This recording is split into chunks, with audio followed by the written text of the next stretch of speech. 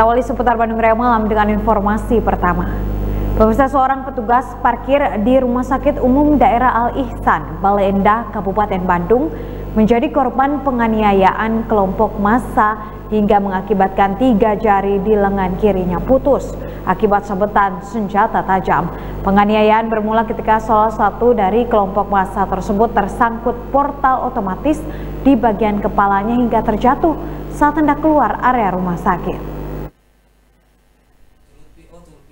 Dalam rekaman video dari salah satu kamera pengawal CCTV Rumah Sakit Umum Daerah Al Ihsan, Kecamatan Balendah, Kabupaten Bandung, terlihat sekelompok massa menerobos pintu keluar area rumah sakit yang terhalang oleh portal otomatis. Dalam video tersebut terlihat salah seorang dari kelompok massa terjatuh karena terhalang palang pintu yang kembali menutup dengan cepat.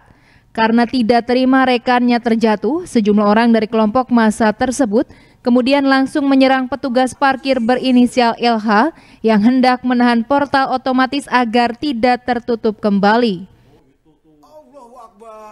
LH yang terkejut dengan respon kelompok massa yang marah kemudian berusaha menghindari amukan massa dengan berlari ke bagian dalam area rumah sakit. Namun jumlah massa yang banyak mengakibatkan LH tidak bisa melarikan diri dan penganiayaan pun terjadi. Akibatnya LH mengalami sejumlah luka lebam di tubuhnya akibat pukulan dan tendangan. Bahkan dua jari di bagian lengan kiri LH putus akibat sabetan senjata tajam saat berusaha menghalau.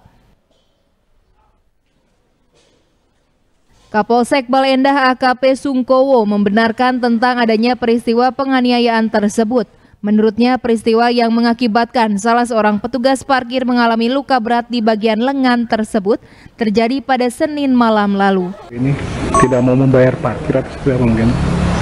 Uh, perlu kita jelaskan saat itu melihat dari gerombolan kelompok massa dari petugas parkir ini mengambil inisiatif untuk membuka pintu parkir namun itu kan pintu parkir dibuka secara otomatis dari pengendara roda 2 uh, mencoba langsung merangsang masuk sehingga dari orang yang terakhir uh, mengakibatkan pintu par eh, pintu parkir otomatis tertutup dan mengenai dari uh, pelaku kepala.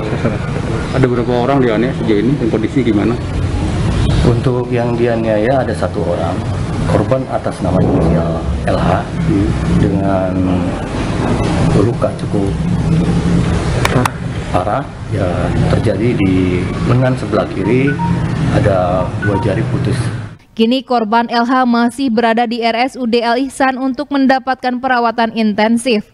Sementara itu petugas dari Polsek Balendah dan Satreskrim Polresta Bandung kini tengah melakukan penyelidikan lebih lanjut untuk memburu kelompok massa yang terlibat dalam peristiwa penganiayaan tersebut.